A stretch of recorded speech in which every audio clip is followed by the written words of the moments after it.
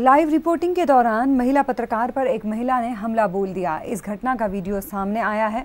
गौरतलब है, जब पत्रकार लाइव रिपोर्टिंग कर रही थी, तभी एक अन्य महिला वहाँ पहुँची और पहले तो उसने पत्रकार के चेहरे पर घुसा मारा और फिर बाल पकड़कर झकझोर दिया।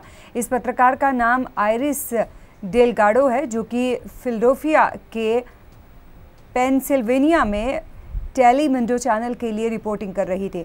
हमले के बाद पत्रकार ने पुलिस को सूचना दी। पुलिस ने महिला की पहचान वहीदा विल्सन के रूप में की है उसे हिरासत में ले लिया गया है।